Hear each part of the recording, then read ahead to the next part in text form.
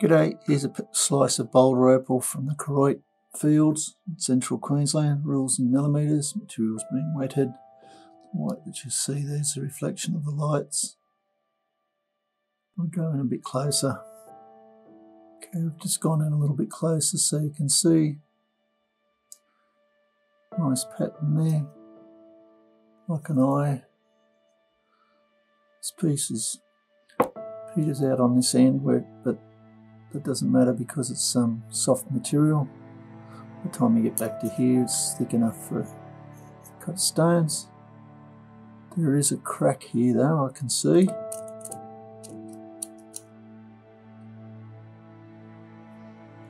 How or where it goes, I'm not sure.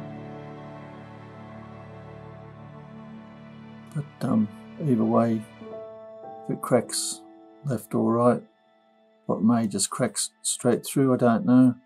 But uh, still got plenty of potential there for some nice stones.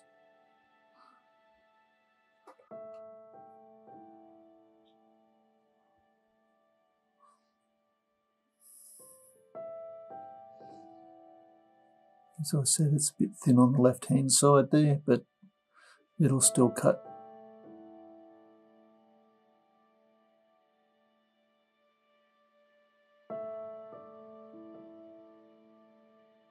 colours running out a little bit on that side so I'd say that's going to be your, your top.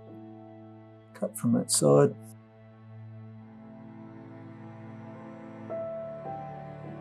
Anyway I hope you've enjoyed looking. Cheers